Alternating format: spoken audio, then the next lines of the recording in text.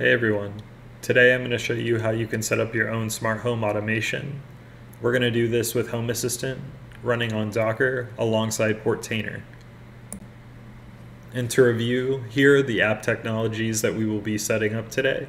The first is going to be Home Assistant. This is basically a Python package that a bunch of people have contributed to, and it allows you to do smart home automation via YAML files really cool projects, and all based in Python.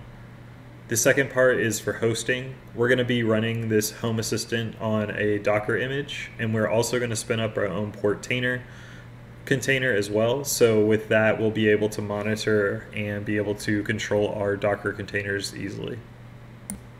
Now that we've reviewed the app technologies, let's go over how to actually run these containers. The first thing you're going to want to do is clone the repo that's in the description the second is going to be run docker compose up. And after you do that, you'll see a couple services. The first is going to be your Portainer at 9000.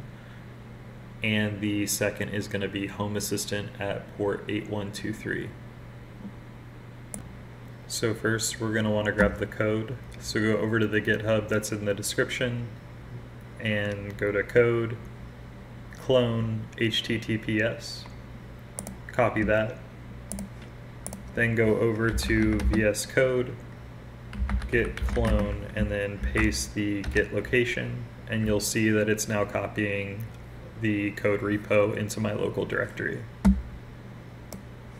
Now that you have the code, you're going to want to navigate to the appropriate directory. So go to File, Open Folder, and find location you want. Here I'm selecting the folder and now you'll see it's open me up in the appropriate directory. And so the final step will be to run docker compose up and it'll start building our containers. And just a note is that it is going to go a lot faster for me as I've already run the containers, but just know it'll take a few minutes for it to start for your first time. And now we'll go navigate over to where we will actually look at where the containers are spun up. And if you're on Windows, the simplest way to do this is going to be through Docker Desktop. And when you're on Docker Desktop, go over to containers slash apps, look for the Home Assistant container, and you'll see here we have two different services enabled.